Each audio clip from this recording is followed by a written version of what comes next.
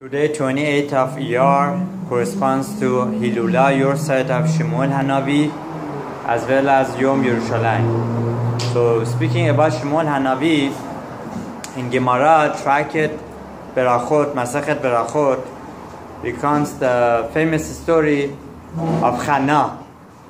That, as you know, Chana was one of the wives of Elchana.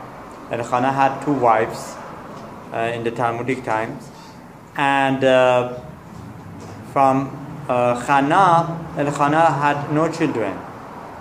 Elchana had another wife, Penina, and from that he had children. But from Chana, he did not have children.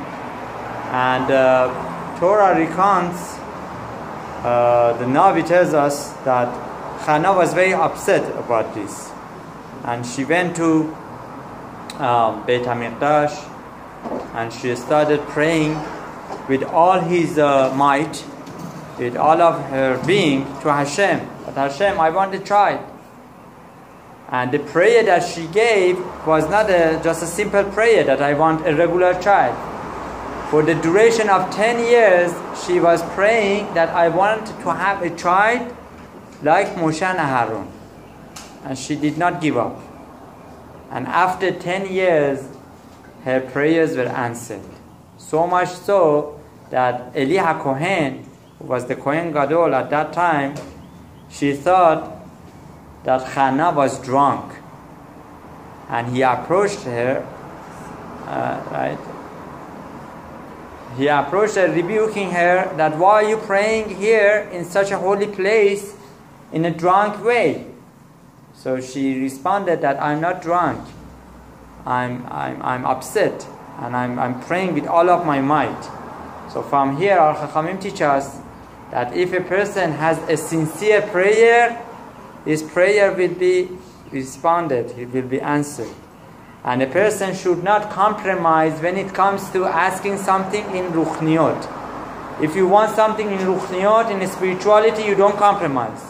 You compromise when it comes to Gashmiot, to physical aspects of your life. By for ruchniot, you could ask for best of the best. Perhaps another lesson that we can learn from Shmuel Hanavi.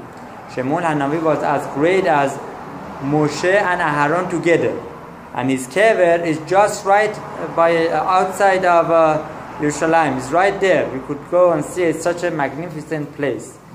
Now, Shmuel Hanavi lived in the times of Shaul Hamelech and he came with lots of prophecies. He was, in fact, the, the person who anointed uh, uh, Shaul HaMelech. Now, from Shemuel HaNavi, uh, there is a whole uh, uh, sefer in Navi, Navi'im, named Shemuel, uh, that speaks about his greatness. What was his greatness? His greatness, perhaps one of his greatness was that he was able to go and speak to the king and give him to tochacha in a very unique way. You know, giving rebuke to king is not easy. But Shmuel Hanavi constantly uh, advised Shaul HaMelech. And perhaps if Shaul HaMelech would have listened to Shmuel Hanavi, right, obviously we cannot judge for him, but he could have been much more successful. Bezat Hashem should help us that we learn the life and legacies of great prophets.